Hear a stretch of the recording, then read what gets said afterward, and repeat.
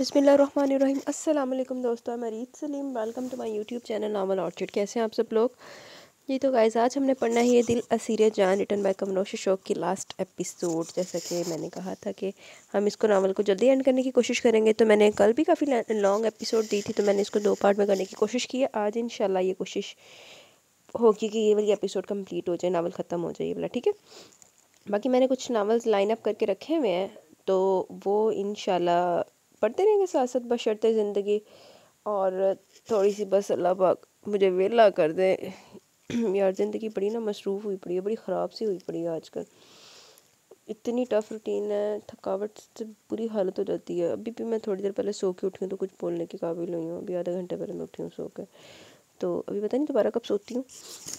तो खैर आइए पढ़ते हैं हम, ये दिल असीर जान, रिटर्न बाय कमरोश शो की लास्ट एपिसोड तो उससे पहले अगर आपने मेरे चैनल और ऑर्चिड को सब्सक्राइब नहीं किया तो सब्सक्राइब कर लें और साथ में बेल आइकन भी प्रेस कर लें ताकि आने वाली वीडियो आपको मिलती रहे। मलक हाउस को पूरा दुल्हन की तरह सजाया गया था। हर तरफ़ रंग खुशबू का दौर था, खुश, रोशनी ही रोशनियाँ हर सू बिखरी थी। रंग बिरंगे लहराते आंचल इधर से उधर अटखेलियाँ कर रहे थे, छेड़छाड़ का ये सिलसिला काफ़ी दिनों तक यूँ ही चलता रहा। इसके अलावा कुछ फ़ेमस जर्नलिस्ट भी मौजूद थे, जो अपने ज़्यादा बिकने वाले न्यूज़पेपर्स में मलक हाउस की न्यूज़ छापने फ़ख्र समझते थे और जाने माने फ़ोटोग्राफ़र्स को भी हायर किया गया था, जिनकी तस्वीरों की धूम थी। रात के इस वक्त नौ बज रहे थे बहराम मलिक टेरिस पर खड़ा लॉन का हसीन तरीन नज़ारा देख रहा था, जहाँ कमकों की रंग बिरंगी जगमगाती रोशनी से लॉन रोशन हो रहा था। खुशबुओं की बहारों से महक रहा था लॉन में इसके कज़न, रिश्तेदार कज़न्स ने डेरा डाल रखा था। कानों की भरपूर गानों की भरपूर प्रैक्टिस ज़ोर शोर से जारी और सारी थी। गर्मियों की आमद थी, इसलिए ठंडी ठंडी भीनी भीनी फिजाओं के साथ चाय, कॉफ़ी से भी लुत्फ़अंदोज़ हुआ जा रहा था। एक दूसरे पर हुट करते, छेड़खानी करते और फिर महसूस होते, दूसरा फरीक बदला चुकाने को या तो पास रखे कुशन से तवाज़ा करता या फिर कुछ ना बन पाता तो ज़ुबान चढ़ा देता। बहराम मलिक ऊपर खड़ा, इनकी छोटी छोटी शरारतों पर हौले से मुस्कुरा दी इसकी घूमती निगाह एक मंजर पर ठहर सी गई। अनारी एंड ऑरेंज कढ़ाई के शलवार कुर्ते में नैना का सादा हुसन दहक रहा था। लॉन में पहली रोशनियों की शुआ इसके गुलाबी मुखड़े को छू रही थी, जिससे इसका हुसन जुफशन लग रहा था। बहराम मलिक को लगा जैसे इससे ज़्यादा हसीन मंजर इसने आज तक न देखा नैना शहराम मलिक की किसी बात पर खिलखिला रही थी। हँसते हुए इसके चमकीले सफ़ेद दांत बहुत खूबसूरत लग रहे थे। गुलाबी रुखसारों पर सुर्खी घुली हुई थी। बेपना हंसने की वजह से इसकी नीली झील में नमी उतर आई थी, जो इसके मासूम हुसन की कीमत बढ़ा रही थी कि एकदम बिल्कुल अचानक बहराम मलिक की निगाहों में वो जर्द फीका चेहरा घूम गया। निगाहों के सामने इसका सफ़ेद चादर में लिपटा कमज़ोर लागर वजूद ठहरा पारस शाह वो भी तो इस मलक हाउस का हिस्सा है, मगर इन खुशियों की फिजाओं, मसरतों की बहारों से दूर और बेखबर कहती जैसी ज़िंदगी बसर कर रही है। बहराम मलिक की मुस्कुराहट, इस सोच पर दम तोड़ गई ढीलिया सब शल होने लगे। रहमान शाह की गिरी हुई हरकत पर इसने गुस्से से दांतों पर दान जमा लिया दिमाग की रगें और जबड़े सख्ती से फेंचने की वजह से काफ़ी उभर सी गई थी। बारिश से मलक हाउस आएगी, इससे इसके हिस्से की खुशियाँ मिलेंगी। इसे कैद खाने से मैं लेकर आऊँगा इसे। इसने ये सब सोचते हुए अपने ब्राउन कुर्ते की जेब से अपना सेलफोन निकाला और सार हम, अरहम का नंबर डायल किया। हाँ सर डॉक्टर जावेद को मेरे गोल्डन हाउस में ले आओ। पूरी राजदारी के साथ। सेल फ़ोन ऑफ़ करते हुए वो पोर्च में खड़ी अपनी गाड़ी में आ बैठा। गाड़ी का रुख गोल्डन हाउस जो इसका नया बंगला जो नैना के नाम से खरीदा था, वहीं था। आज मलक हाउस में रस्म माइयों का फ़ंक्शन था। मलक हाउस के लोग कुछ लम्हों के लिए अपना दुख, अपनी परेशानी भूल के, मगर वो अभी भी बेहद परेशान और उलझा हुआ था। इसकी परेशानी दिन ब दिन बढ़ती जा रही थी। पारिस्या की तरफ़ से कुछ इतमान हुआ तो एक और मुसीबत मुँह फाड़े खड़ी थी। कोई सिरा हाथ नहीं आ रहा था। इससे कैसे छुटकारा हासिल? उम्मीद की कोई किरण रोशन नहीं थी। जिसमें ज़िंदगी खिलखिला उठे, बहुत मुश्किल सब अपने बेडरूम में टहल रहा था, वजह माया थी। जिसने आज इससे अपनी प्रॉपर्टी की तमाम फाइल्स मांगी थी। जितना वो इस माया जाल से निकलने की कोशिश करता, मजीद जाल कसता ही चला जा रहा था। टहलते टहलते सोचते हुए जब थक चुका तो सोफे की बैग से टटकाए, आँखें मुंदे सोचो कि गहराइयों में डूबता चला गया। बहराम, सायरा के कहने पर उसे बहराम मलिक के बेडरूम में आना पड़ा। कमरा चूँकि साउंड प्रूफ था, इसलिए बाहर का शोर कमरे में आने से कासर था। बहराम मलिक जो अपनी सोचों की वादियों में गुम था, अपने नाम की पुकार पर दुख थी, आँखें धीरे से वाकई सामने खड़े, नाजुक पैकर को देखता रह गया। पैरेट एंड येलो कंट्रास्ट के जॉर्जेट की कढ़ाई के शरारे में खुली हुई गोल्डन शहदगी जुल्फ़ों में वो तमाम अप्सराओं में आगे थी। आज पहली बार इसे इतना तैयार देखा, अपने पिंक लबों का महरून लिपस्टिक से छुपाया हुआ था, वो इसी को देख रही थी। तभी बहराम मलिक को शरारत सूझी वो सीधा हो बैठा। जी, आप कौन? और बिना नौक के मेरे बेडरूम में क्यों आई हैं? नीली झील नैनों में हैरत भरे वो इसे देखने लगी, मगर जल्दी इसकी काही मेहंदी शीशों में शरारती मुस्कुराहट नुमाया हो गई थी। बहराम, सायरा पप्पो बुला रही हैं तुम्हें? नैना के लबो लहजे से नाराज़गी छलकने लगी, जैसे बहराम मलिक ने बगौर महसूस किया और नाबी के दास लबों की दिलकश मुस्कुराहट दुबाए वो उठ खड़ा हुआ। ओ तो आप मिसेस नैना बहराम मलिक है, तभी तो मैं कहूँ इतनी हिम्मत किसमें आगे जो बगैर नौक के मेरे बेडरूम में आए? अब पहचान लिया तो आ जाओ मैं जा रही हूँ। वो जिच होती मुड़ी, इसी वक्त इसकी चूड़ियों मेहंदी से भरी गुलाबी कलाई इसने अपनी मज़बूत गिरफ्त में कैद कर ली। नैना ने पलट कर एक अपनी कलाई देखी। और फिर बहराम मलिक की का ही मेहंदी शीशों में देखा। एक शरारत की इजाज़त मिल सकती है बकौर इसके नीले झील कमर में झांका जिस पर वो घूर कर रहेगी ज़्यादा फैलने की ज़रूरत नहीं, शराफत से नीचे आ जाओ। कलाई छुड़ाने की सही बेकार रही बहराम मलिक इसके किस्मस आने पर धीरे से मुस्कुरा दिया और हल्का से एक झटका दिया जिस पर नैना बल खाती इसके वसी आहनी सीने से आ लगी। बहराम प्लीज़ तुम बहुत बदलते जा रहे हो। इसके मज़बूत हसार से आज़ादी की कोशिश जारी थी, मगर मुकाबिल की हालत इसके बिल्कुल बरक्स थी। चूड़ियों की जल तरह खुशबू में महकता दिल नशी सरापा बहराम मलिक को होशो खुद से बेगाना करता जा रहा था। बस यार अबॉर्ड दूरी नहीं, मुझे रुखसती लेनी पड़ेगी। नहायत, सरगोशी नहायत मध्यम दिल रुबाती दिल फरेब सी। अभी कोई गुस्ताखी सरजद हो ही जाती कि बाहर किसी दरवाज़ा पूरी ताकत से ना सिर्फ़ बजाय बल्कि अंदर भी चलाया बहराम मलिक का दिमाग इस अंदर आने वाले शख्स पर पूरी तरह खोल उठा। नैना ने हड़बड़ाकर खुद को इसकी गिरफ्त से छुड़ाया था। और जाने लगी कि माया ने चौखट पर हाथ रखकर इसके जाने का रास्ता ही ब्लॉक कर दिया। नैना ने ना चाहते हुए भी इसे देखा। मैंने कहा था ना, बहराम मलिक कोई भी पार्सा नहीं होता। इसके जुमानी जुमले पर जहाँ बहराम मलिक ने इसे घूरा, वहीं नैना का सारा खून खुश्क हो गया इसके इस जुमले पर। क्यों सौकन सहेली? ठीक कहा ना मैंने। नैना के बेपना हुसन को वो घूरने लगी। वो हमेशा इसे नैना की तोबा, शिकन, खूबसूरती से जेलस रही थी। और इस वक्त तो सही मानों में वो जहर से भी ज़्यादा जहर लग रही, बुरी लग रही थी इसे। मुझे तो मालूम ही नहीं था कि आज तुम्हारे गरूर का ये मंजर भी देखना पड़ेगा। गलती होगी मुझसे कैमरा ना लाने की वरना कल के अखबारों में यह हसीन नज़ारा तहलका मचा देता। नैना ने तड़पती निगाहों से पहले इसे फिर मुड़कर बहराम मलिक को देखा। एनीवेज मैं, मैं तो तुमसे मिलने आई थी। सॉरी कि आप दोनों को तनहाई में मुखल हो गई। मैं जा रही हूँ और सबसे कह देती कि दो तड़पते हुए दिलों का मिलन हो रहा है। डिस्टर्ब ना किया जाए बल्कि एक काम करो तुम दरवाज़ा अंदर से लॉक ही कर लो। आसानी से अपनी शट अप माया रहमान। बहराम मलिक जो ज़बरदस्त इसकी बेहुदा बकवास सुन रहा था, बिलाखर इसकी बर्दाश्त जवाब देगी और बढ़कर इसके मकरू चेहरे पर अपनी पाँचों भारी उंगलियों के सुर्ख निशान साबित कर गया था। वो ये अचानक होने वाला भारी बार सहना पर लटखड़ाती दहलीज से बाहर जा गिरी। नैना हक्का बक्का देखती की देखती रह गई, इसे उम्मीद ही कहा थी बहराम मलिक कैसे रद्दमल की मायर हमारे ही डिजर्व करती। कहा था ना कि अब ये हाथ नहीं रुकेगा। माया के अंत भर की बिजलियाँ दौड़ उठी। सीने पर कितने जहरीले सांप लौट पड़े। बहराम मलिक इस हरकत पर, अपनी बेइज्जती बेइज्जती पर, वो भी मलक हाउस के दरो दीवार में। वो तो इसकी किस्मत थी कि यहाँ राहदारी में इस वक्त कोई ना था, वरना एक तमाशा लग जाता वो जख्मी नागिन की तरफ़ फनकारती बैठी। बहुत गलत किया बहराम मलिक। तुमने माया पर हाथ उठाकर अपनी ज़िंदगी से बहुत बड़ी भूल और ना माफ़ करने वाली गलती की है। मज़ीद कुछ कहे। सहमी नैना को बुरी तरह घूरती हुई वहाँ से हटती चली गई। महरीन, खैरियत तो है ना सब? माया कल भी फ़ंक्शन में थोड़ा छोड़कर वापस आ गए थे और आज भी जाने से इनकार कर रही है। रहमान शाह ने टाई की ढीली करते हुए बेड पर बैठी महरीन को मुखातिब किया। मालूम नहीं क्या हो गया, माया को कल से कुछ खाया भी नहीं और आज भी सुबह से अपने बेडरूम में बंद है। महरीन के अंदाज से परेशानी हवेदा थी। तो तुम मालूम करो और इसे मनाओ आज के, मनाओ आज के फ़ंक्शन में, माया का होना ज़रूरी है। कल तो खैर इतने लोग नहीं थे, लेकिन आज बहुत से लोगों के साथ तकरीबन पूरा मीडिया भी होगा। अच्छा बहराम मलिक से आज इसकी पहचान और भी पुख्ता हो जाएगी, इतने में वहीं माया भी चली गई।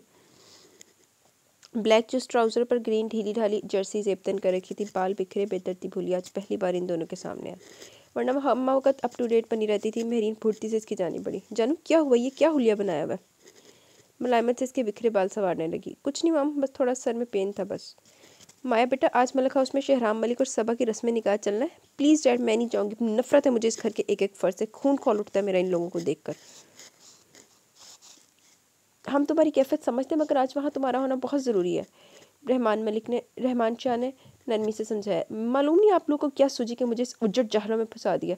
हालाँकि आप लोग अच्छी तरह जानते हैं कि मैं रहमान मलिक से किस कदर शदीद नफरत करती हूँ, फिर भी अपना बदला लेने के लिए मेरा इस्तेमाल किया। पहली बार ज़ुबान पर शिकवा कल का मंजर फिर से जहन के स्क्रीन पर किसी कलम की तरह, फ़िल्म की तरह चल रहा था। वो कौन सा बहराम मलिक के में पागल थी। इसकी जान की असीर थी, वो तो सिर्फ़ जायदाद और बिज़नेस की साख को बुलंदी पर पहुँचाने के लिए अपने वालदेन की बातों पर अमल कर गई थी। और अब तक करती आ रही थी, रहमान शाह और महरी ने बिलाकर इस सिद्दी सी माया को मना ही लिया था। चलो जाकर फिर बिस्त हो गया हो। मम्मी, मैं नहीं पहन सकती इसे। बेड पर रखी maroon and dark green contrast की छोटे छोटे तारों से भरी चौचट की साड़ी इस पर डायमंड का कीमती ज्वेलरी सेट। नैना को तो देखकर ही हॉल आ रहे थे कचा के पहनना। क्यों नहीं पहन सकती? रुखसती नहीं हुई तो क्या हुआ? कहलाओ की तो मलक उसकी बड़ी बहू ही ना। साजिदा के आगे इसकी एक नहीं चलती नज़र आ रही थी, वो कुछ रोहानसी सी हो गई। साजिदा ने प्यार से इसकी नम पेशानी पर भूसा लिया और कमरे से बाहर निकल गई। बहराम मलिक कल से बहुत मुस्तरब और बेकरार सा था। नैना से कल से बात नहीं हुई थी। इसने अपने सेलफोन का स्विच भी ऑफ़ कर रखा था बेडरूम भी लॉक था। सुबह एक बार नज़र आई वो साजिदा के पास खड़ी थी। वो वहीं बढ़ गया ताकि कहीं लेकर कहीं जाए और बात कर सके। मगर नैना ने जब इसे अपनी तरफ़ आते देखा तो जल्दी से अपनी बात खत्म की और फुर्ती से वहाँ से निकली थी। बहराम मलिक जानता था वो ये सब जान के करिए यूँ रूठी रूठी नैना इसके दिल को बेचैन कर रही थी। बहराम मलिक के दिल की कैफियत में, इस कैफियत में हलचल माया से निकाह के बाद पैदा हुई। पहले वो नैना से अपनी हर प्रॉब्लम शेयर करता था, मगर अब वो इसकी कुर्बत, इसकी फ़रकत का तमन्नाई हो गया था। इसके साथ बहुत से खूबसूरत पल, हसीन यादें गुजारना चाहता था, अपने प्यार को अमर करना चाहता था, और वैसा करेगा, मगर नैना की इस अदा ने तो जैसे इसकी जान ही निकाल ली थी। वो उदासो अफसरदा से बिखरे वजूद समेत ऊपर अपने बेडरूम में जाने के लिए सीढ़ियाँ चढ़ रहा था निकाह चुकी थी, इसलिए ऊपर से आते वजूद को देखना पाया, नतीजा ज़बरदस्त सादम था। ओह सॉरी नैना समझी, इसकी गलती से वह हाथ में थामे तमाम मोती के महकते गजरे बहराम मलिक के कदमों को चूम रहे थे। काई मेहंदी निगाहें ऊपर उठी और सामने खड़पनी में बताए हयात को इस रूप में देखती रह गई। बहराम मलिक की इस तरह बगौर दिलचस्पी से देखने पर वो पजल सी हो गई, जिस पर वो हौले से मुस्कुरा दिया। एक्सक्यूज़ मी प्लीज़ वो नीचे उतरने को रास्ता चाह रही थी, मगर बहराम मलिक किसी मज़बूत दीवार की तरह खड़ा था और हटने को तैयार ना था। आज लग रही हो कि तुम वाकई मिसेस बहराम मलिक हो। नैना ने इसकी बात पर आँखों के साथ चेहरे का रुख भी फेर लिया। नाराज़ हो अब तक। वो थोड़ा करीब होकर इसके कान में सरगोशी करने लगा। नैना इसके करीब, मजीद करीब आने पर लटखड़ाने को थी कि बहराम मलिक ने इस पर अपनी मज़बूत गिरफ्त का हसार खींच लिया। बहराम प्लीज़ कोई आ जाएगा। वो वैसे इस साड़ी में उलझ रही थी, ऊपर से इसकी गुर्बत और बरूख की खुशबू से चकरा के रह गई। वो तो खैर थी कि सारे मेहमान हॉल जाने के लिए गाड़ी में बैठ चुके थे, वरना अभी एक फसाना बन जाता। तो आले ने तो मैं और तुम गैर तो निश्चय रही हो कानूनी रूप से तुम मेरी बीवी और वैसे तुम आज लग भी बहुत हसीन रही हो। अगर शहराम तुम्हें सुंदर कली कहता तो गलत नहीं है।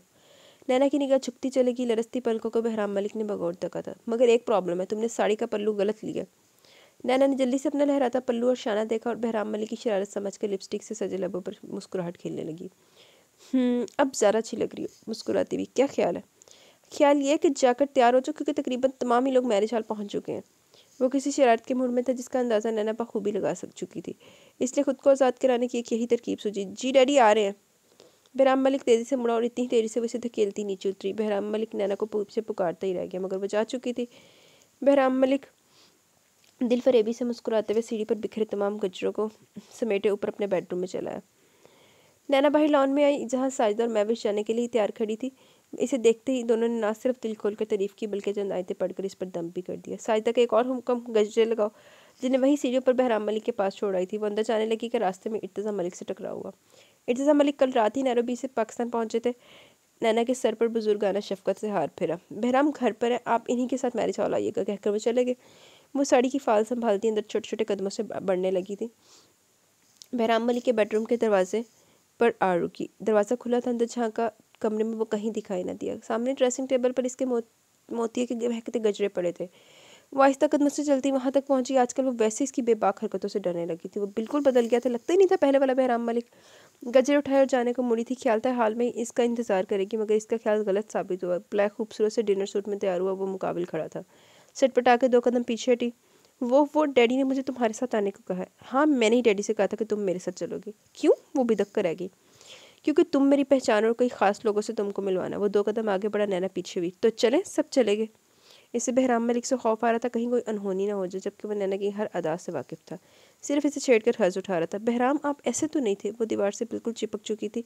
बहराम मलिक ने दीवार पर हाथ टकाकर इसके खौफजदा चेहरे को दिलचस्पी से देखा। गजरे लगा लो, फिर चलते इससे पहले कि वो रो देती, बहराम मलिक उसकी गैर होती हालत पर रहम आ गया और इस से पीछे हट गया। नैना आगे बढ़ने लगी कि इसका नाजुक बाजू, इसके मज़बूत आहनी हाथ में कैद होकर रह गया। इस एग्ज़ाम पर नैना की जान पर बनाई जिसम हौले हौले लरसने लगा था। लाओ, मैं लगा दूँ।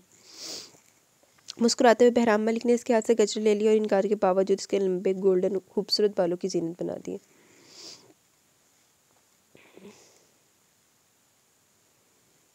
और इसकी सराहीदार शफाफ गर्दन पर अपनी बेकरारी, अपने जज्बों की कहानी रकम करती थी। फिर इसके मुकाबला खड़ा हुआ नैना खौफ से तकरीबन ठंडी पड़ चुकी थी। क्यों इतना डरने लगी हो मुझसे नैना?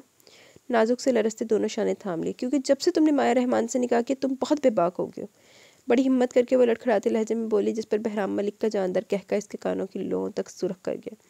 ओके, आज के बाद तुम्हें तुम्हारा बहराम वैसे मिलेगा जैसा माया रहमान के निकाह से पहले था। शरारत से इसकी सुरख होती नाक दबाई, जिस पर बुरी तरह झेंप गई। मेरे ख्याल में जैसे ही खूबसूरत सा कपल एंटर हुआ, कैसे फोटोग्राफ कितने ही फोटोग्राफर्स ने इन दोनों की एक साथ तस्वीरें उतारी। इतनी फ्लैश लाइट पर नैना की आँखें चंदे आ गई, घबराहट के मारे पेशानी पर नन्हे नन्हे मोती उभरने लगे। कहाँ थी वो ऐसी चीज़ों की आदि मगर इसका हौसला बढ़ाने को बहराम मलिक ने अपना मज़बूत आहनी हाथ की मरमरी कमर में डाल दिया। नैना ने चौंक कर इसे देखा, प्लीज़, ये ज़रूरी है।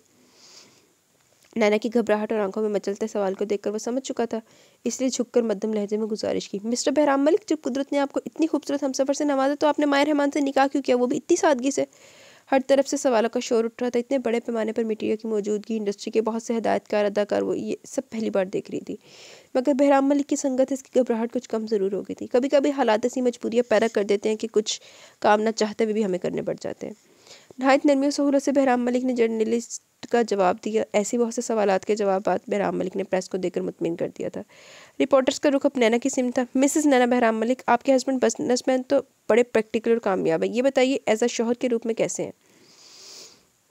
वो होंठ होंठ दांतों तले दबा गई तभी बहराम मलिक ने अपनी उंगलियों की मदद से इसकी मरमरी शफाफ कमर पर ज़ोर दिया। मतलब जवाब देना लाजमी है। ये जितने कामयाब बिजनेसमैन हैं, इतने ही कामयाब शोहर भी हैं। ज़बरदस्त मुस्कुराहट लबों पर सजाई थी। मगर सुनने में यह है कि अभी आपकी रुखसती नहीं हुई, किसी मंचले रिपोर्टर ने यह सवाल उठाया था। फिर तो मैं ये कहूँगी कि अफवाह है कि एक ही घर में रहते हुए रुखसती का सवाल कैसे पैदा हो सकता है? जहाँ इर्तज़ा मलिक और मुस्तफ़ा मलिक ने मीनान शुक्र का सांस लिया, वहीं बहराम मलिक भी बेसाख्ता मुस्कुरा दिया और नैना को अपने से कुछ और नज़दीक कर लिया। जिस पर वो कंफ्यूज होने लगी।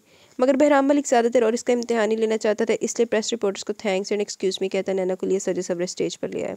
जहाँ खूबसूरत और वजी सा शहराम मलिक वाइट कढ़ाई की शेरवानी पजामे में भोली भाली मासूम सी दुल्हन बनी सभा के बराबर बड़े शानदार अंदाज में विराजमान था। इनका फ़ोटो सेशन हो रहा था। रहमान, देखा आपने किस तरह बहराम मलिक ने माया को मजबूरी का नाम दिया? महरीन पहलू पर पहलू बदले जा रही थी। फ़िक्र करने की ज़रूरत नहीं, डेढ़ मजबूरी कितनी बड़ी ज़रूरत है, ये लोग अभी जानते नहीं। वो हाल करूँगा, मलह हाउस का हर फर्द मेरे गिर चक्कर काटेगा। एडा तू ओ रह गया ना। इस बार भी जीत मेरी होगी, शिकस्त इन लोगों की। बड़ी बड़ी बातें करते थे। रहमान मलिक ने जहरीली निगाहों से इर्तज़ा मलिक और मुस्तफ़ा मलिक को देखा, जो आपस में किसी बात पर मुस्कुरा रहे थे। रहमान शाह ने माया को बुलाया और स्टेज पर जाने को कहा, जिस पर इसकी रंगत गुस्से से सुरख होगी। डेट देखा आपने किस तरह बहराम मलिक ने प्रेस और मीडिया के सामने मुझे मजबूरी का नाम दे दिया और वैसे भी वो इस वक्त अपनी नीली परी के साथ इश्क लड़ा रहा है। नहायत जस, हसदो जलन भरी नज़रों से इसने स्टेज पर बहराम मलिक के पहलू में खड़ी मुस्कुराती नैना को घूरा था। मेरी जान मजबूरी इतनी खूबसूरत और जोरावर बना दो कि बहराम मलिक को नीली परी नज़र ही ना आए। महरीन की बात का मतलब वो बखूबी समझ गई थी। इसलिए अपने कदम स्टेज की सिमत बढ़ा दी, जहाँ बहराम मलिक नैना की संगत में मसरूर सरशार था। और गेंजा टिशू के फ़ॉन एंड रेड का आमदानी शरारे में सवा इतनी सुंदर लग रही थी मामूल की तरह हटकर जो रूप इस वक्त इसने धारा था शहराम मलिक जो पहले इसका दीवाना था, अब तो होश ही उड़ गए थे। इसलिए रुखसती का शोर मचा दिया, ज़िद्दी शहराम मलिक की इस ख्वाहिश ने सभा को कर रख दिया। इसका दिल डूबने लगा, इसके नाजुक एहसास जज्बात की परवाह किए बगैर शहराम मलिक की ज़िद का एहतराम किया गया और इसकी मान ली गई। किसी ने कोई इतराज़ नहीं उठाया, बल्कि सबकी खुशी दोगुनी होगी। सवाए सबा के जो शहराम मलिक की ज़िद पर अंदर ही अंदर जलन के मारे बल खाने लगी थी। सायरा आई और इसके झुके सर पर शफकत से हाथ फेरा। क्या ख्याल है मेरे बेडरूम में चलोगी? रसूम से फारिग होने के बाद सबा को शहराम मलिक के बेडरूम में बिठाने के बाद वो भी अब अपने रूम में जा रही थी। बहुत थक गई थी वो शहराम मलिक की रुखसती के शोर ने काम को डबल कर दिया था, जिसे निपटाने के बाद इसका रुख अपने बेडरूम की तरफ़ था। क्या इसकी मेहंदी और मैचिंग से सजी चूड़ियों की गुलाबी मरमरी कलाई इसके सुर्ख और सफ़ेद गिरफ्त में कैद होगी। अपना मुँह धो रखो। अरे, मगर तुम्हें ना तो मीडिया के सामने करार किया था कि तुम्हारी रुखसती हो चुकी है। छेड़ने के भरपूर मूड में था। बहराम बदतमीजी मत करो। कलाई छुड़ानी चाहिए जिसके लिए वो कत्ते तैयार नहीं था, मगर अभी तो मैंने कुछ किया नहीं। काही मेहंदी शीशों में ज़माने भर की मासूमियत थी। मेरा ख्याल है तुम मेरे बेडरूम में चलो। कसम से आज गजब, बहुत गजब ढा रही हो। इसके नाजुक सजे समय सरापे को अपनी निगाहों के हसार में रखे, मध्यम लहजे में सरगोशी की। नैना इसके अंदाज पर अपनी तारीफ़ पर बुरी तरह ब्लश होकर रखी बहराम घर मेहमानों से भरा पड़ा कोई देख लेगा तो कितनी सुखी की बात है। यूँ रास्ते में खड़े मेरा हाथ थामे हुए हो। अरे देखता तो देखे, वैसे भी मेरे चाल में सबके सामने तो मिलान तो कर ही चुकी हो, कामयाब शोहर का। अब मुझे इसे साबित भी तो करना एक पल को तो बहराम मलिक के इरादे से डर भी गई थी। वो बोली, ऐसे था आँखों में आँखें डाले। वैसे शहराम मुझसे ज़्यादा समझदार निकला। देखा कैसे रुखसती का शोर भी मचा डाला। मुझे भी यही करना चाहिए था। खैर, कल शहराम और सबा का वलीमा मैं भी शहराम के साथ शोर मचा देता हूँ। तुम्हारा क्या ख्याल है?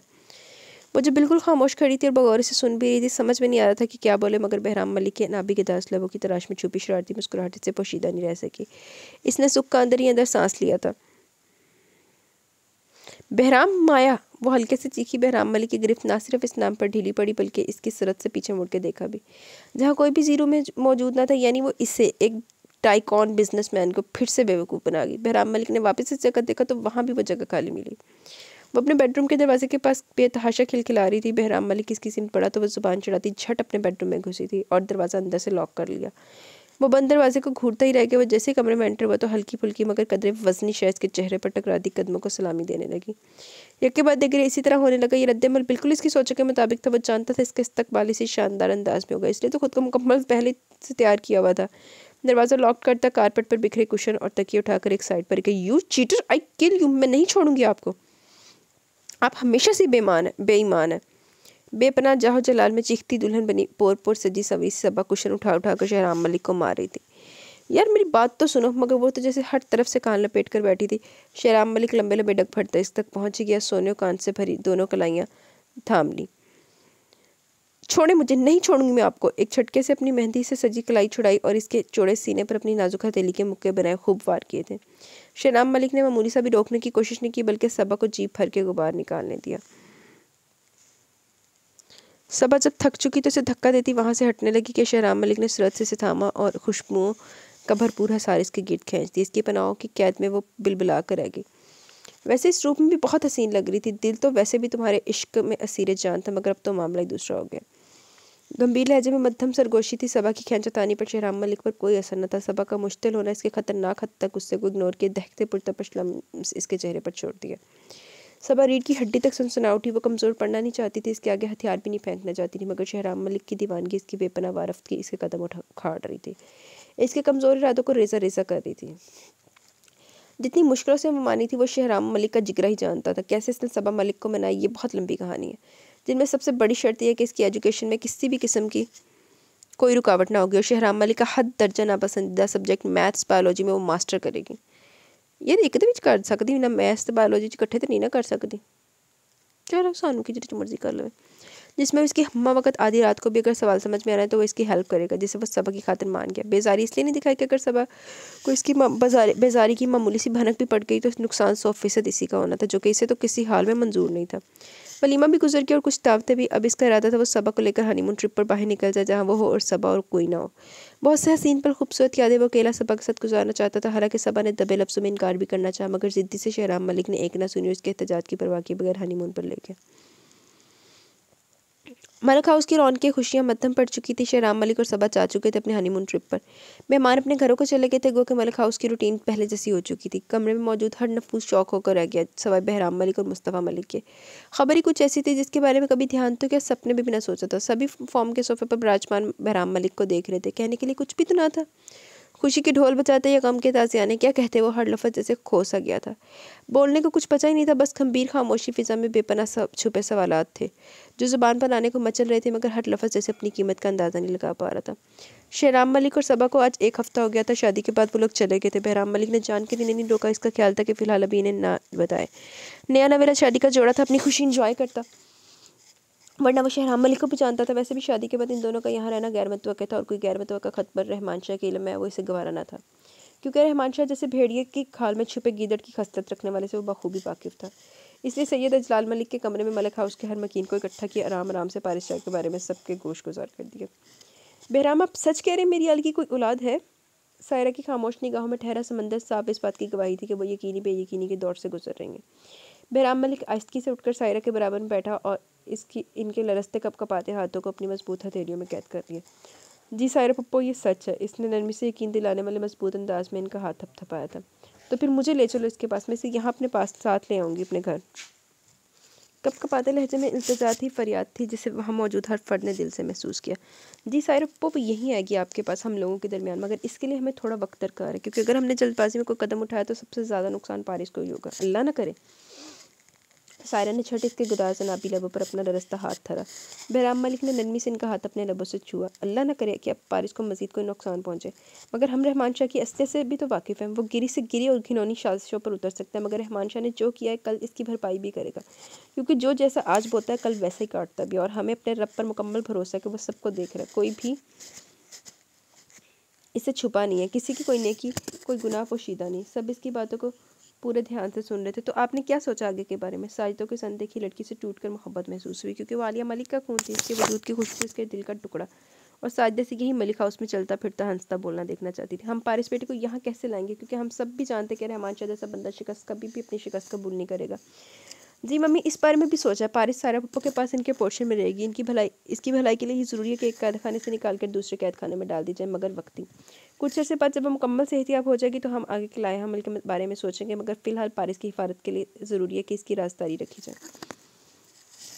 बहराम मलिक ने सब पर एक निगाह डाली। मेरा ख्याल है, मुझे, फिर मुझे अपनी हर मीटिंग डेलीगेशन पोस्टपोन कर देनी चाहिए। इर्तज़ा मलिक बहुत देर बाद कुछ बोले थे, इनके अंदर क्या चल रहा था, कौन सा मौसम रवा दवा था बसानी वो अपने अंदर छुपाना जानते थे। चेहरे पर कभी किसी तूफ़ान की असर नहीं होती थी, कभी दुख की परछाइयाँ बक्कल नहीं मारती थी।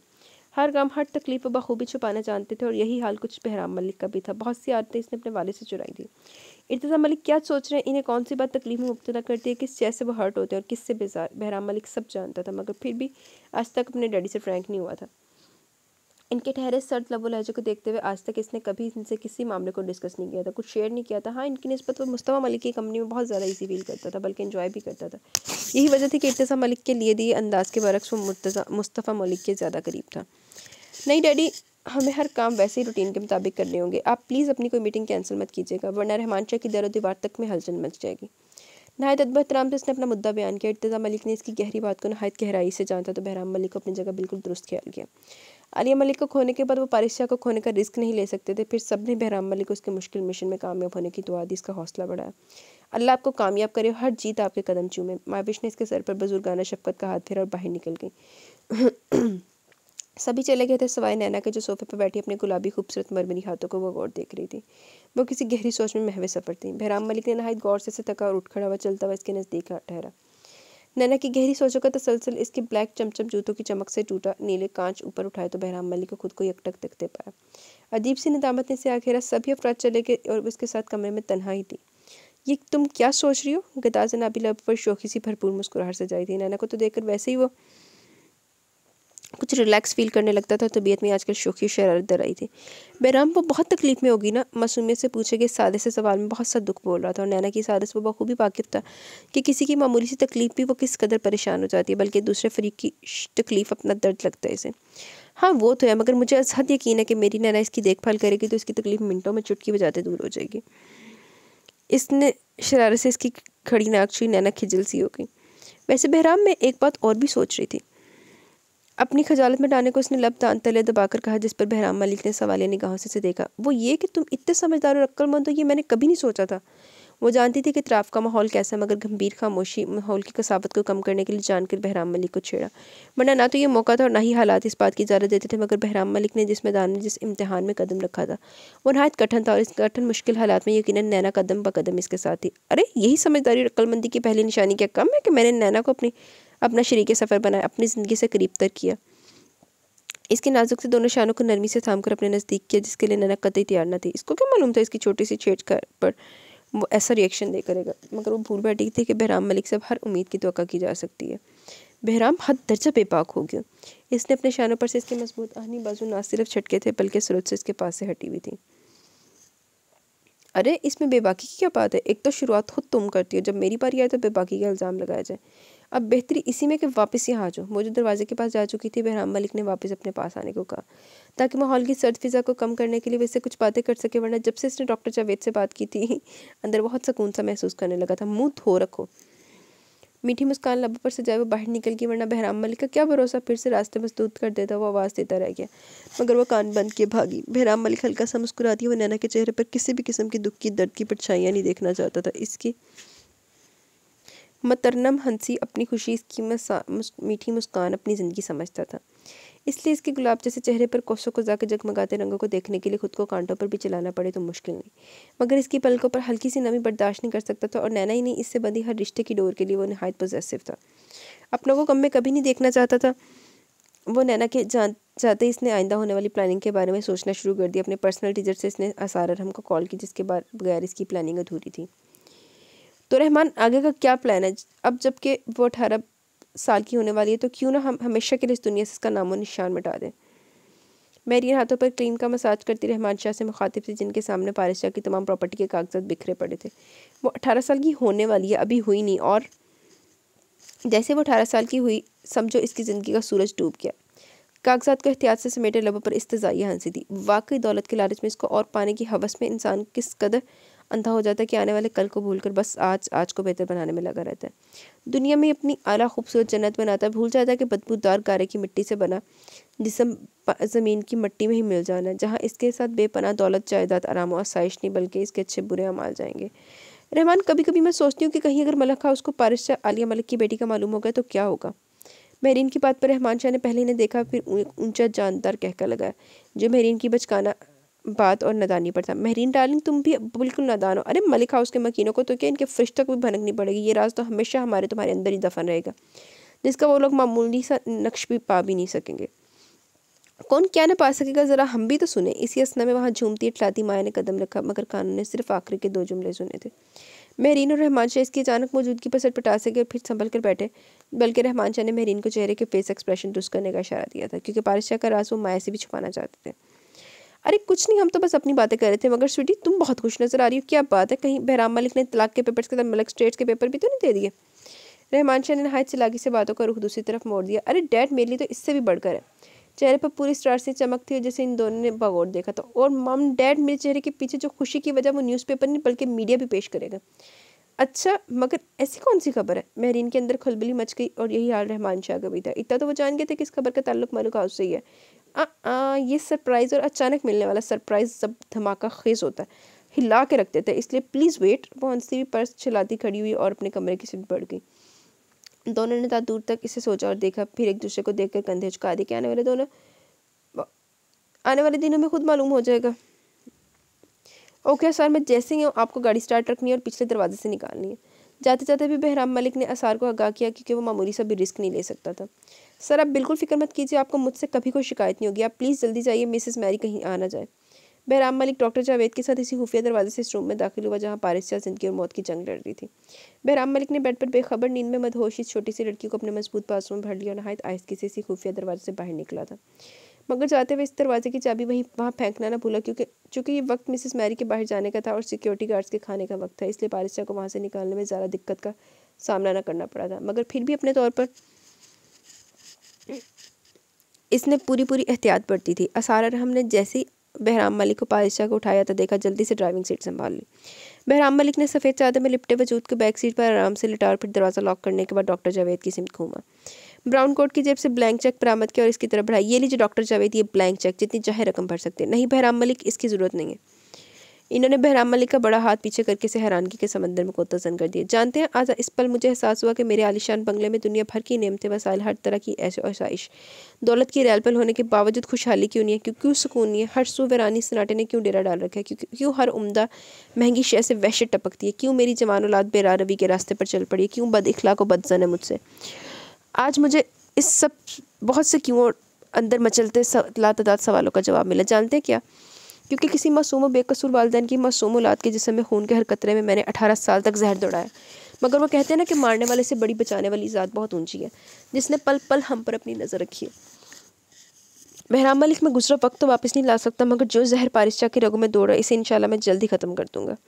डॉक्टर जावेद की नज़रों में गुजरे लम्हों का पछतावा था, नदामत थी। वो अपनी गलतियों का अजाला करना चाहते थे, जिसके लिए बहराम मलिक नहायत ममनून मशकूर था, इनका अपनी हाथ इनकी शर्मिंदगी से ढले शाने पर रखा। थैंक्स डॉक्टर जावेद अरे, इन्हें, नहीं प्लीज़ थैंक्स मत कहिए। अच्छा अब आप ये काम कीजिए, ये वो मेडिसिन है जो पारिशा को दिन में तीन मरतबा खिलानी है। चूँकि दो माह तक मैंने इन्हें, एक दिन भी डोज नहीं दिया, दो माह तक मैंने वो इंजेक्शन दिया, जिससे ये मुकम्मल तो नहीं, कुछ रिकवर तो ज़रूर कर गई हैं। आप इनकी मेडिसिन प्रॉपर गज़ा का भरपूर ख्याल रखिएगा, जो कि इनकी सेहत के लिए ज़रूरी है। डॉक्टर जावेद ने एक वाइट बड़ा सा लफाफा बढ़ाया जिसे बहराम मलिक ने थाम लिया। इसके अलावा आप पारिशा के जहनी रूह से भी वाकिफ़ हैं, नफसियाती रूह से बहुत डिस्टर्ब भी हैं। सर, जल्दी चलिए, मिसेस मैरी आ रही हैं। असार रहम ने छुप कर मध्यम लहजे में मगर तेज़ होकर जल्दी इतला दी। बहराम मलिक ने असार रहम को देखने के बाद एक बार फिर डॉक्टर जावेद का शुक्रिया अदा किया और तेज़ी से फ्रंट सीट पर आ बैठा। डॉक्टर जावेद की नज़रों ने तब तक बहराम मलिक की दूर होती गाड़ी को देखता जब तक वो निगाहों से ओझल नहीं होती। सोचा का रुख बहुत पीछे था, दो माह पहले वो क्या थे और अब क्या थे इन्हें आज भी वो दिन याद था। गुजरा एक एक पल लम्हा जहन की स्क्रीन पर अस पर था। कुछ लोगों ने इन्हें अपनी बड़ी सी गाड़ी में आराम से बैठाया और इन्हें एक नहायत शानदार बंगले के आलिशान बड़े से ड्राइंग रूम में लाए। खूबसूरत से ड्राइंग रूम में पहले से बहराम मलिक विराजमान था और इन्हीं का शिद्दत से इंतज़ार कर रहा था। डॉक्टर जावेद ने बहराम मलिक को अक्सर टेलीविज़न पर देखा था, इसके अलावा बिज़नेस मीटिंग अखबार में भी इसकी तस्वीरों समेत भी आनात पड़े थे। मगर मिलने का इतफाक आज पहली बार हुआ था। तो आप हैं डॉक्टर जावेद? मैं तो समझा था कोई यंग सा लड़का होगा जिसे दौलत हासिल करने के लिए कुछ भी करना पड़े वो करेगा। चाहे ना जायज़ रास्ता क्यों ना वो इख्तियार करेगा। मगर आप तो शायद मेरे वालद के हम उम्र लगते हैं। अब मैं आपसे क्या बदतमीज़ी करूँ? बहराम मलिक उठकर डॉक्टर जावेद के पास आ ठहरा था, जो कि हैरान परेशान थे। यहाँ इस तरह लाने पर बहराम मलिक कैसे तर्ज गुफ्तु पर? बहराम मलिक कुछ समय खामोश खड़ा बगौर तकता चला गया। इसका तो ख्याल था वो कोई टीन है जो डॉक्टर होगा तो इसका गिरबान पकड़ कर इतने मुखलिस पेशे को बदनाम करने के बारे में पूछेगा। हालाँकि वो पहले रहमान शाह के साथ इन्हें देख चुका था, मगर इस जगह सुनाटे अंधेरे के बाई से इन्हें देख ना सका कि इनकी उम्र का अंदाज़ा लगा पाता। क्या मैं पूछ सकता हूँ, मुझे यहाँ क्यों लाया गया? आए थे मेरा दिल कर रहा जब मुन्ना भाई नहीं जवाब देता कि वो जब डॉक्टर स्ताना उसको कहता क्या मैं पूछ सकता हूँ कैसे वो कहता नहीं। फिर कहता पूछना पारिस फरमान शाह आप ही की पेशेंट है ना, अठारह साल से, जिसका आप इलाज नहीं करे बल्कि पागल करके मारना चाहते हैं। गो के लहजा नरम था, मगर सख्ती में कड़वे सच ने डॉक्टर जावेद को खामोश कर दिया और शौक भी। बारिशा के बारे में रहमान शाह खुद वो और मिसेस मैरी के अलावा किसी को कुछ इलम ना था। कोई नहीं जानता था कि इस भरी दुनिया में ऐसी कोई लड़की इस नाम की है, जिसका कोई जीता जागता वजूद भी है, जो हर पल सांस लेता है, जिसका हर साथ दिल धड़कता है, मगर बहराम मलिक ने कैसे जान लिया पायस शाह को और क्या काम है इसे बेजर सी नाजुक छोटी सी लड़की से? किस रिश्ते से इसने पूछा है? मगर ये सब आप किससे जानते हो? पारिस शाह से आपके क्या रिलेशन है? नहायत नरमी से पूछा था, वरना बहराम मलिक के सच्चे इल्ज़ाम पर भड़क भी सकते थे। जानते थे कि सामने जो हस्ती खड़ी इसके असर रसूख कितने ऊँचे हो सकते हैं? इलम ये भी था कि जो कहता है, वो कर भी सकता है। इसलिए जब पूछा तो लहजे की लड़खड़ाहट को रोक ना पाए। रिलेशन? पारिस शाह सैयद अजलाल मलिक की नवासी, इनकी छोटी चहीती बेटी आलिया मलिक की बेटी है। सैयद इजलाल मलिक के नाम और इनके ऊँचे काम से तो आप अच्छी तरह वाकिफ होंगे। डॉक्टर जावेद इस इनके शाप पर पहुँच कर करेगी। सैयद इजलाल मलिक को कौन नहीं जानता था? हाँ नहायत जानी मानी हस्ती थी इनकी। बहराम मलिक ने बगौर इनकी बदलती रंगत, मतगैर कैफियत और माथे पर पसीने की चंद उभरती बूंदें देखी थी। शर्म आनी चाहिए डॉक्टर जावेद आपको। आप इस शहर के नामवर मरूफ डॉक्टर हैं। आपसे कितने लातादाद मरीजों की शफा या भी हासिल हुई है? अगर आपका घिनौना चेहरा आवाम के सामने बेनकाब हो गया अखबार में बड़ी बड़ी हेडलाइंस में ये सुर्खियाँ चिस्पा होंगी कि शहर के मशहूर डॉक्टर जावेद इनाम, एक मासूम और बेजर लड़की, जिसने आज तक सूरज की पहली किरण नहीं देखी, वो कहाँ से तलु होता है, कहाँ गरूब होता नहीं जानती। चाँद तारों की चमक से स्या आसमान किस कदर जगमगाता हुआ खूबसूरत लगता नहीं मालूम। कौस कज़ा के रंगों को जो नहीं पहचानती, इसे एक माह से अठारह साल तक एक कमरे नुमा कैद खाने में न सिर्फ़ कैद करके रखा है, बल्कि टॉर्चर के साथ ऐसे ऐसे डोज इंजेक्शन के ज़रिए दिए जा रहे हैं, जिससे वो धीरे धीरे पागल होकर अपना जहनी तोज़न खो बैठे, बल्कि आखिरकार दम ही तोड़ दें। और इस सब के पीछे सबसे बड़ा हाथ है डॉक्टर जावेद का। तेज़ी में कहते कहते वो सांस लेने को कुछ पल रुका था, जिस बात की शिद्दत से इसका चेहरा सुरख हो गया, बल्कि गुस्से से इसकी काही मेहंदी शीशों के तरफ़ सुरख टोरे नुमाया होने लगे। जिसमें एक दुख था, एक तकलीफ़ थी पारिशा की बेबसी और ऐसी किस्मत के लिए बहराम मलिक ने नफ़ी में सर ला और इसे चंद कदम फासले पर जा खड़ा हुआ। जानते डॉक्टर जावेद, इससे क्या होगा? आपकी डिग्रियाँ तो कैंसिल होंगी, सो होंगी, मगर वो हाथ जो बार गहलाई में आपकी सलामती, आपकी इज़्ज़त और शोहरत मांगने के लिए उठते हैं, वो हाथ आप पर उठेंगे नफरत से, किसी बदसूरत बदुआ से। क्या करेंगे फिर आप? और वो लोग जो ख्वाहिश रखते हैं, जिनका अरमान है कि डॉक्टर बनेंगे तो डॉक्टर जावेद जैसा, मगर सद अफसोस आपके चेहरे के पीछे ये छुपा घिनौना चेहरा कितना मकरू है। जब आपकी असलियत के बारे में जान जाएँगे तो अपनी ख्वाहिश पर महत्म करेंगे। बुरा बोलेंगे खुद को कि क्यों इन्होंने डॉक्टर जावेद जैसा मुखलिस शख्स अपने लिए चुना? क्यों? बैराम मलिक इतने करख्त लफ्ज़ों ने जैसे डॉक्टर जावेद की आँखें खोल दी, दौलत की पट्टी जो रहमान शाह ने इनकी आँखों पर बाँध दी थी, वो पट्टी हटी तो हर मंजर जैसे साफ़ दिखाई देने लगा। मुर्दा ज़मीर जैसे चीख चीख कर इन पर लानत मलामत कर रहा था, मगर ये बात भी सच थी कि वो नहीं जानते थे पारिशा कौन है। रहमान शाह ने बस इतना बावर करा कि पारिशा को मरना है। वो इनकी पेशेंट है इससे आके वो कौन है क्या है वो जानने का हक रहमान शाह ने नहीं दिया। बस बेपना दौलत से ही जानने का हक छीनता रहा। और फिर डॉक्टर जावेद ने अपना ज़मीर दौलत रुपया पैसा के एवज बेचा भी तो क्या पाया। हम्म, हम्म मैं चाहूँ तो आज अभी पारिशा को वहाँ इस कैद खाने से निकाल कर आप जैसे दरिंदे नुमा इंसानों से इतनी दूर भेज सकता हूँ जहाँ तक तुम लोगों की रसाई भी मुमकिन नहीं होगी। मगर मैं आपकी आखिरी हद इससे आपसे मिलकर देखना चाहता था। डॉक्टर जावेद मेरे लिए कभी कुछ मुश्किल नहीं रहा कभी भी नहीं। मगर पारिशा को देखकर जिस दुख तकलीफ़ से मैं दो चार हुआ, इसका आप अंदाज़ा नहीं लगा सकते। शिद्दत गिरिया से इसने मुँह ही फेर लिया। डॉक्टर जावेद जब बगौर इसका एक एक लफ्ज़ सुन रहे थे। बहराम मलिक का मुँह फेरना वो भी नफरत से तो जाने इनके दिल में।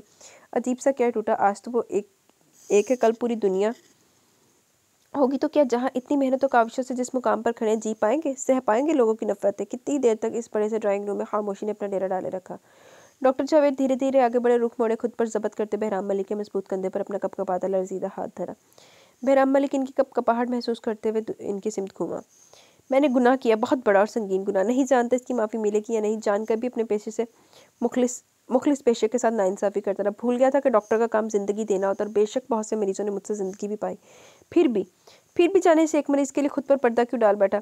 पारिश फरमान शाह कौन है? इसके आपसे क्या रिलेशन है? या फिर रहमान शाह से मैं नहीं जानता। मगर आपसे एक वादा ज़रूर करता हूँ पारिश शाह को संधेर नगरी इस कैद खाने से मैं निकालूँगा और इसके सिलसिले में मैं आपको हर तरह की मदद को तैयार हूँ। ये एक अच्छे सच्चे इंसान का वादा है। डॉक्टर जावेद ने अपनी आँखों के भीगे गोशे साफ़ किया एक जख्मी मुस्कुराहट से बहराम मलिक को देखा। अगर आप ये समझ रहे कि मैं खुद को एक्सपोज करने के डर से ये सब कह रहा हूँ तो आपकी सोच बिल्कुल गलत है। सैयद अजलाल मलिक के मुझ पर बे इंतहा एहसान आता है। हाँ अगर ये कहा जाए कि आज मैं जहाँ खड़ा हूँ, जिस इज़्ज़त और शहरत की बुलंदी पर मौजूद हूँ अल्लाह ताला के बाद सैयद अजलाल मलिक की मरहून मरहून मिन्नत है। और बदले मैंने अनजाने में क्यों नहीं इनके खून को ऐज़ा पहुँचाई है दिन रात अजियत दी है। बहुत शर्म की बात है ये मेरी, बल्कि डूब मरने की बात है, जिसकी माफ़ी शायद काबिल कबूल नहीं, मगर बहराम मलिक, मैं अपनी सज़ा भुगतने को बिल्कुल तैयार हूँ, मगर इससे पहले मैं पारिशा का इलाज और इसमें आपकी मदद भी करना चाहता हूँ। शर्मिंदगी और नदामत से झुके सर को बहराम मलिक ने बगौर तक और वाकई डॉक्टर जावेद ने अपने कहे का मान रखा। बहराम मलिक का भरपूर साथ दिया, दो माह तक वो नहायत चलाकी होशियारी से पारिशा को नशा व डोज की बजाय खून में दौड़ते, जहर ख़त्म करने वाला इंजेक्शन देते रहे और जहर बहराम मलिक इन दो माह तक बाकायदगी से इसे एक घंटे पारिशा से मिलने आता रहा था। और जिस तरह इसने पारिशा को खुद से मानूस किया, ये वही जानता था ये इसका खुदा। जाने कितने घंटे वो इस जगह खड़े रहे और निगाहें इसी एक नुक्ते पर टिकी रही कि इसके अंदर हलचल, अंदर से आने वाले शोर से हुई। वो फ़ौरन इस तरह भागे, शट आप, रहमान शाह ने अपना भारी भरकम हाथ मिसेस मैरी के चेहरे पर मारा और वारिद तब भारी था कि फरबाज सामत की मिसेस मैरी सहना पाई और दूर जा गिरी थी। डॉक्टर जावेद समझ के कि के गायब होने की इतला डॉक्टर रहमान शाह तक पहुँच चुकी और ये खबर सुनते ही पहली फुर्सत में यहाँ मौजूद होंगे। डॉक्टर जावेद नहीं चाहते थे कि शक्की मामूली सी भी लहर उठे, इसलिए वो खुद रहमान शाह के मिलकर मिसेस मैरी और सिक्योरिटी गार्ड्स को सुनाने लगे। कहा, मर गए थे तुम दोनों। खाने का बहुत शौक है है ना? मगर अब ऐसा नहीं होगा। दोनों बारूदी गार्ड्स के गिरबान को मज़बूत शिकंजे में जकड़े अपने पीछे खड़े, अपने आदमियों की तरफ़ धकेला। ले जाओ काट कर जंगली वहशी कुत्तों के आगे डाल दो। रहमान शाह जैसा बेरहम कैसे किसी पर रहम कर सकता था? जैसा जिल्लात सिर्फ़ शख्स इसी पर नज़र करम कर दे, ये नामुमकिन ही था। और तू? आगे बढ़कर ज़मीन पर गिरी पड़ी मिसेस मैरी को ज़ोर से बालों से पकड़कर खड़ा किया। वो शिद्दत, तकलीफ़ से चीखने लगी, माफ़ी मांगने लगी, गिड़गिड़ाकर रहम की भीख मांग रही थी। मुझे माफ़ कर दो रहमान साहब, मैं नहीं जानती कि वो कैसे भागी। मैं तो हर तरह की एहतियात पड़ती थी। मैं तो बस एक घंटे के लिए बाहर गई थी, वापस आई तो इस दरवाजे की चाबी यहाँ ज़मीन पर पड़ी मिली थी। बालों को छुड़ाने की सही बेकारी, मगर वो चाबी तो तेरे पास थी ना, कैसे इसके हाथ लगी? तेरी को ताही की सज़ा तुझे ज़रूर मिलेगी। तू जानती है ना कि रहमान शाह के यहाँ माफ़ी की कोई कीमत नहीं, वो हाल करूँगा कि चलने फिरने के काबिल नहीं रहेगी। और फिर बेरहमी से बालों से घसीटता हुआ बाहर निकल गया। इस शहर का चप्पा चप्पा छान मारो, जहाँ नज़र आए साली को गोली से उड़ा दो। गाड़ी में बैठते रहमान शाह ने पास खड़े गार्ड्स को हुक्म दिया। मलिक हाउस में बहराम मलिक की गाड़ी एंटर हो चुकी थी। गाड़ी का रुख सायरा के पोर्शन के पोर्च की सीम था। मलिक हाउस का हर फट पारिशा से मिलने से देखने को बेताब था, बेचैन था कि आलिया मलिक की बेटी से मिले, जिसने मलिक हाउस के दर दीवार पर ही इन दर दीवार में बसने वाले हर मकीन के दिलों पर पूरे तम तराक से राज किया था। आलिया मलिक की परछाई पारिशा को देखने की दिल शिद्दत से बेकरार था, मगर मजबूर थे क्योंकि खबर इन्हें राज में ही रखनी थी। चाहे वो घर के वफादार मुलाजमीन ही क्यों ना इसलिए सब्र करके बैठ गए। मुस्तफ़ा मलिक कल रात ही की फ़्लाइट से पाकिस्तान पहुँचे थे, जबकि इर्तज़ा मलिक नैरोबी में थे और जल्द आने को कह गए, मगर मिनट मिनट की खबर इन्हें ज़रूर मिलती रही। बहराम मलिक ने पिछली सीट पर बेहोश खुर्द अकल से बेकाना वजूद को आहिस्ती से उठा जल्दी से अंदर बढ़ा था। जहाँ सायरा और नैना इसका, इनके शिद्दत और बेसब्री से इंतज़ार कर रही थी, जैसे बहराम मलिक पर निगाह पड़ी, दोनों दौड़ती हुई इसके पास आ गई बहराम मलिक इनके जज्बात और एहसास से बखूबी वाकिफ था। जानता था खून का खून कितना अज़ीज़ होता फिर ये तो इस वजूद का हिस्सा था जो पहले ही हर मोहब्बत का हकदार थी। सारे ने फ़ौरन अपने बेडरूम का दरवाज़ा खोला बहराम मलिक ने नहायत एहतियात से इस नाजुक वजूद को वसी बिस्तर पर लटाया था। जैसे वो कोई कांच की नाजुक सी गुड़िया जो ठेस लगने से रेजा रेजा हो जाएगी। सायरा और नैना इसके इर्द गिर्द बैठ गई। नहायत मोहब्बत से सायरा ने इसके चेहरे पर हाथ फिर, ऐसा लगा जैसे आली आकर लेटी हो। वो भी तो सोते में ऐसी लगती थी, सायरा की आँखों से ना रुकने वाली बरसात जारी थी। मोहब्बत चाह से लरसते हाथों से पारिश के चेहरे का एक एक नकुश नक्श छू छू कर इसके होने का यकीन चाहा। कुदरत ने जो इनकी ज़िंदगी के साथ मज़ाक किया था, इस पर वो शाकिर भी थी और कमजदा भी। अठारह साल का अर्सा बहुत होता किसी के मौजूद होते हुए भी गैर मौजूदगी में रहना। बिल्कुल आली है कोई फ़र्क नहीं, वही सुनहरी रंगा जो इतनी अजियत और कर्ब सहने पर कम ला कर रहेगी। सुनहरी गोल्डन बाल कुंदन जैसा नाजुक तराशा बदन आँखों पर पहर डाले सिया घुनेरी पल के। नाजुक से छोटे छोटे नकूश, कुछ भी तो फ़र्क नहीं, बिल्कुल आली है मेरी आली।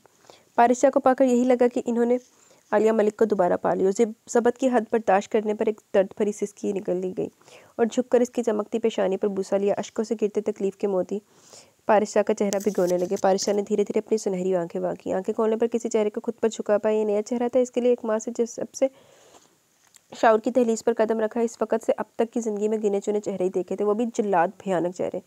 जिनका रवैया सलूक इसके साथ कुछ कभी अच्छा नहीं रहा था। मिसिस मैरी अव्वल दर्जे की बदतमीज़, नहायत गिरी हुई घटिया ज़ुबान इस्तेमाल करती थी इससे। बात बात पर इसे मारना, झिड़कना, ख़राब गालियों से नवाजना इनका शेवा था। इसके बाद दूसरा चेहरा डॉक्टर जावेद, जिनका काम सिर्फ़ ऐसे इंजेक्शन सुबह शाम देना जिससे इसका जहनी तोज़न बिगड़ने लगता।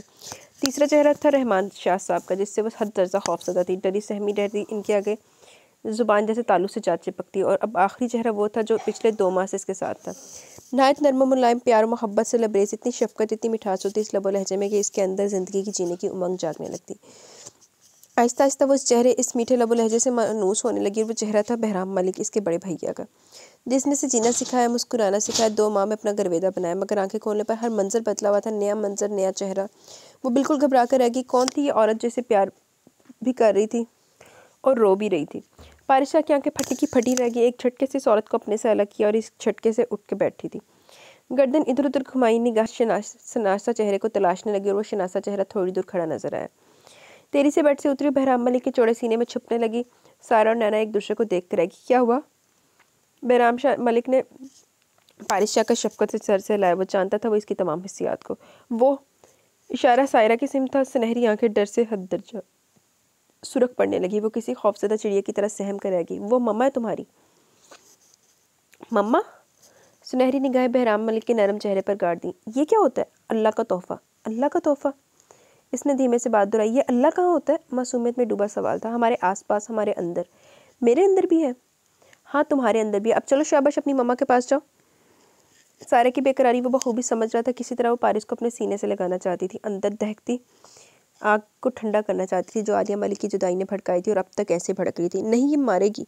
किसी मासूम डरे बच्चे की तरह इसने ना सिर्फ़ गर्दन नफ़ी में हिलाई, बल्कि बहराम मलिक का बाजू मजबूती से पकड़ के कहीं वो औरत इसे ले ना जाए। मिसिस मैरी का नारावा सलूक वो भूली नहीं थी। वो भी एक औरत थी और ये भी एक औरत है। जो वसी बेड से उतर कर धीरे धीरे चलती हुई इसके पास आ रुकी थी और इसे ही गौर से देख रही नहीं, पारिस कुड़िया, ये तुम्हें नहीं मारेंगे, बल्कि बहुत प्यार करेंगी। पारिसा की जिन हाथों में तरबियत हुई थी, जिन जालमाना हाथों ने इसकी परवरिश की थी, वो इन्हीं के रंग में रंगी हुई थी। इसलिए अभी से टोकना मुनासिब न समझा। इसके जहन से, छोटे से जहन में जो तस्वीर या जो नक्शा औरत का बना था, वो सिर्फ़ औरत के इसी रूप सलूक से वाकिफ़ थी। हर औरत इसे मिसिस मैरी लगती थी, मगर वो जानता था, ये भी कि सायरा पप्पो की नरम गर्म आगोशी से संवार देगी, निखार देगी, इसकी तलीम और तरबियत, इसकी बिठी, बिखरी टूटी शख्सियत। आओ ना मेरी जान, मैं आपको बहुत प्यार करूँगी, कभी नहीं मारूँगी, ना डांटूँगी। सायरा ने इसका कमज़ोर हाथ थाम लिया, जिसे वो छुड़ा कर भी ना छुड़ा पाई। जाने इस में ऐसी क्या करमाइश थी क्या अगर क्या बात थी क्या गरमाइश थी जिससे वो अंदर ही अंदर पिघलने लगी और सहम सहम करके करीब आने लगी? तू सच कह रही है, मारेगी तो नहीं। हाँ बुरी बात ऐसे नहीं बोलते बड़ों से हमेशा अदब एहतराम से बोलते हैं। पैराम मलिक ने अपने नरम लहजे में इसे टोका। मगर अपने को तो ऐसे बोलना आता है। वो नहाई साथ की मासूमियत से बोली, साइरस के अंदाज पर दिलो चाह से फिदा होगी सरद से अपनी गोश में समोकर बेतहाशा रोपड़ी बारिश से ज़्यादा देर खड़ी नहीं, बीमार थी ज़्यादा देर खड़ी नहीं रह सकी चकरा कर दोनों हाथों से सर थाम गई। सारे ने जल्दी से बेड पर लिटाया नैना भाग कर ऑरेंज जूस बनाकर लाई। सारे ने जूस अपने हाथों से पिलाया, वो किसी कदर सायरा से पहल गई थी, बल्कि इनके हाथों को थाम भी लिया, अंदर एक सुकून सा महसूस करने लगी। आखिर को आलिया मलिक इन्हीं की गोद में तो परवान चढ़ी थी, जो सायरा की दीवानी थी। फिर तो पारिसी से दीवानी की बेटी थी तो कैसे ना सायरा इस पर अपनी मोहब्बत ने छावर करती, इसके नाज नखर उठाती। कुछ घंटे बाद साजदा, माविश और मुस्तफ़ा मलिक भी यहीं आ गए। इन्होंने भी पारिसा को देखा तो छूटते ही आलिया मलिक का पट्टूल कहा था। मगर इन लोगों के आने से पहले पहले वो नींद की वादी में गुम हो चुकी थी, इतनी पुरसकून नींद में थी जैसे आज से पहले कभी इस तरह न सोई हो। और ये सच भी था, कहाँ ऐसी मीठी नींद आज से पहले इसके नसीब में रही थी? चेहरे पर इस कदर मासूमियत और सादगी थी, इतना भोलापन था कि हर किसी को उस पर बेख्तियार प्यार आने लगा था।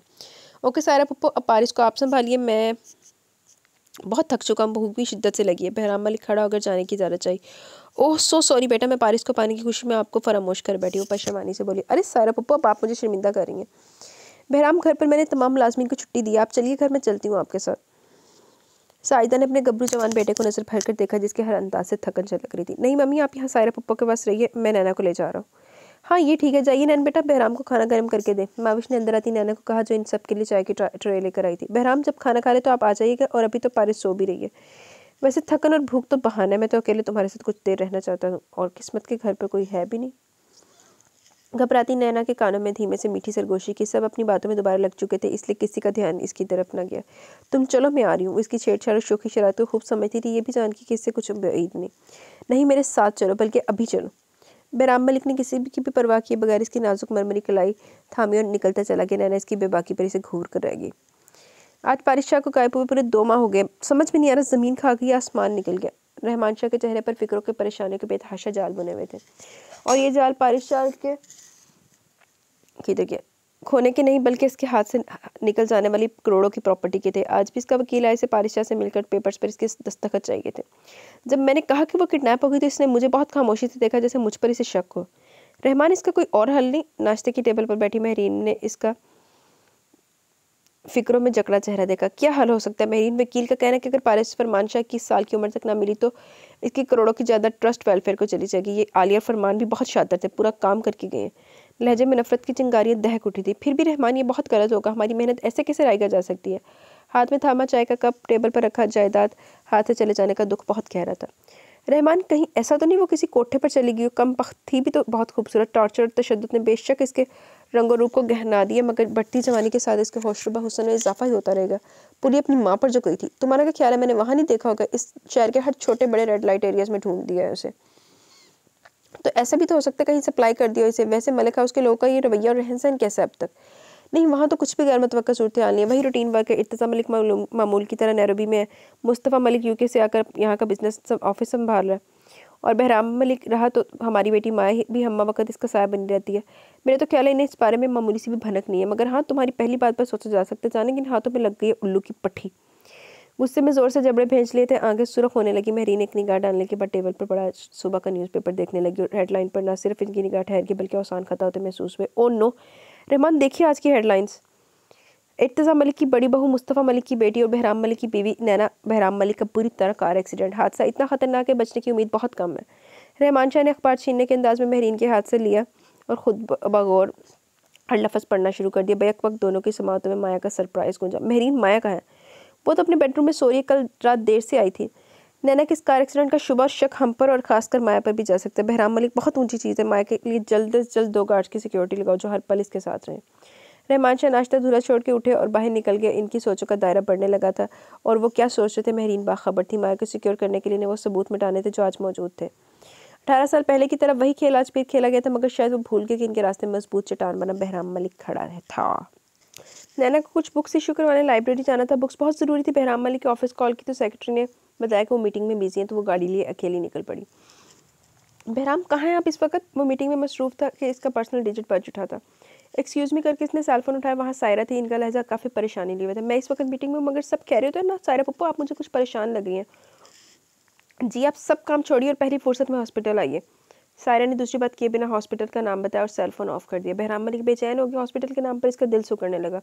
ओके जेंटलमैन अगले पॉइंट्स को हम कल की मीटिंग पर छोड़ते हैं। कहता वो वहाँ से निकलता चला गया। दस मिनट की रेस्ट ड्राइविंग से मतलूबा हॉस्पिटल की बिल्डिंग में मौजूद था। दलान में खुड़े, खड़े, ऊँचे, मज़बूत सतून से टेक लगाए, सर झुकाए मुस्तफ़ा मलिक खड़े थे। चेहरे पर किसी हारे जवारी की तहरीर थी। बिल्कुल साख तो जामा थे वो, जैसे कभी न हिलने की कसम खाई हो। फिर इसकी निगाह वहीं बेंच पर बेतहाशा रोती महविश पर ठहर के इन्हें साइद और सायरा चुप कराने की कोशिश कर रही थी। हालाँकि आँखों से अशकों की बारिश इन दोनों की भी जा रही थी कि सारा मंजर की समझ से बाला तर था। मतलब बेला बेटा फटता माविश के पास आ ठहरा और आहिस्की से इसके कप कपाते। लरसते शाने पर अपना मज़बूत हाथ धरा। माविश ने भीगा चेहरा ऊपर उठाया बहराम मलिक को सामने पाकर झटके से इसके चौड़े सीने से लगी थी और हज़ारों कतार आँसू इसका गिरबान भी रोने लगे। बहराम, मेरी बच्ची नैन। रोने के दरमियान सिर्फ़ यही लफ्ज़ अदा हुए थे, बहराम मलिक का लम्हा भर को सर चकरा के रह गया। सोचने समझने की जैसे सारी सलाहियतें मकबूद होगी ये चंद अल्फाज सुनकर। भाभी प्लीज़ खुद को संभालिए, कुछ नहीं होगा हमारी नैन को। सायरा तो झूठी तसली भी ठीक से न दे सकी, रुख फेर कर दुपट्टे के पल्लू से चेहरा ढांपे रो पड़ी। और यही हाल साजता का भी था। इन तीनों की हिचके और सिसके ऊपर बहराम मलिक ने तेज़ी से अपने बिखरे टूटे साहब को संभाला और अपने चौड़े सीने में मुँह छुपाए बेतहाशा रोती माविश को नरमी से संभाला। आयरन बेंच पर बिठाया सायरे से इशारे से पानी मंगवाया और ग्लास इनके कप कपाते लबों से लगा दिया। नहीं, मुझे कुछ नहीं चाहिए। मेरी नैन सही सलामत ला दो, मुझे ग्लास पीछे किया था। चची जान, नैना को कुछ नहीं हुआ। वो आएगी, मगर इससे पहले आप ही पानी पिए। बमुश्किल इन्हें पानी के चंद घूट पिलाए और इन्हें साजिदा और सायरा के हवाले करता हुआ बुद्ध बने मुस्तफ़ा मलिक का आसारों का। क्योंकि अब तक सूरत हाल सही तरह मालूम नहीं हुई थी। चाचू, पुकारने का अंदाज नहायत मध्यम था। मुस्तफ़ा मलिक की आँखें तो बस किसी गैर मरई नुकते पर अटक कर जिनमें मामूली सी जम्बिश बहराम मलिक के पुकारने की थी। निगाह ऊपर उठी जिनमें ठाठे मारता समंदर ठहरा था, जिस पर इन्होंने बंद मारने की पूरी कोशिश की थी। बहराम मलिक ने अपनी अब तक की ज़िंदगी में आज पहली बार इन्हें इस तरह करबो अजियत से गुजरती कैफियत में देखा। वो मलिक हाउस की औरतों की तरह बैन नहीं कर सकते थे, मातम नहीं कर सकते थे, मगर इनका दिल किस कदर तड़प रहा था बिलक बिलक कर रो रहा था, ये सब इनके बुरे चेहरे से साफ़ झलक रहा था। बहुत बुरी हालत है नैन की, डॉक्टर्स पूरी उम्मीद नहीं है, किसी, किस, किसी भी वक्त नैन नैन की साँसें रुक सकती हैं, दिल की धड़कन बंद हो सकती है। चाचू, प्लीज़। बहराम मलिक ने दिल से इनके हिलते होठों पर, लबों पर अब हथेली धरी। इनके सफाकी में डूबे हर लफ्ज़ ने इसका दिल जिस तरह छी डाला, ये वही जानता था। पल भर को साँसें जैसे थम सी गई हो, मगर जब वो बोला तो इसके लबो लहजे में मजबूती थी, बस सूख था और यकीन बोल रहा था, जब तक मैं हूँ, मेरी साँसें आ जा रही हैं मेरे दिल की धड़कनें ज़िंदा, सलामत है, नैना है, बस और कुछ नहीं। मुस्तफ़ा मलिक ने झिलमिलाती निगाह इसकी मजबूती पर डाली और दिल से हर के हर लफज पर आमीन का ऑपरेशन थिएटर से इस वक्त बहुत से डॉक्टर्स बरामद हुए। मुस्तफ़ा मलिक और बहराम मलिक भागने के अंदाज में डॉक्टर की सिमट बढ़े। दवाओं का इस्तेमाल जारी और ड्रिप्स ऑक्सीजन मास्क मास्क लगा हुआ। आप लोग दुआ कीजिए। मिसेस नैना मलिक को इस वक्त दुआओं से ज़्यादा, दवाओं से ज़्यादा दुआओं की अशद ज़रूरत है। चौबीस घंटे में इनका होश में आना बहुत ज़रूरी है, वरना या तो ज़िंदगी में हाथ धो बैठेंगे या फिर उम्र भर के लिए कोमा में भी जा सकती हैं। किस कितनी आसानी और सफाकी से डॉक्टर ने सच्चाई बयान कर दी, ये सोचे बगैर, जाने बगैर कि कितनों का दिल इसकी ज़िंदगी से धड़कता और एक दिल तो सिर्फ़ इसकी सांसों से ना सिर्फ़ महकता बल्कि ज़िंदा भी है। डॉक्टर्स अपना काम पूरी तरह सर अंजाम देकर जा चुके थे। इर्तजा मलिक आज की फ़्लाइट से आ चुके थे। साजिदा की इस भयानक खबर पर इन्होंने अपनी तमाम मीटिंग्स पोस्टपोन कर दी थी। नैना से बढ़कर तो इनके लिए कुछ ना था। इतनी अज़ीज़ थी वो हर फर्द को। सायरा और साजदा वहीं हॉस्पिटल के एक साथ सुथरे रूम में मसल्ले पर बैठ गई। दोनों के आसमान, हाथ आसमान की तरफ़ थे लबों, पर सिर्फ़ एक दुआ थी, नैना की सेहतमंद ज़िंदगी। माविश आयरन बेंच पर बैठी थी, निगाह किसी गैर मनई नुकते को यकटक तके जा रही थी। इन यकटक निगाहों से सिर्फ़ बेआवाज, बेतहाशा, अश्क चेहरा भिगो रहे थे। कितनी अजीब बात है ना, इनके खामोश लबों से अपनी इकलौती जानते इस बेटी के लिए कोई लफज, दुआ के लिए नहीं निकल रहा था।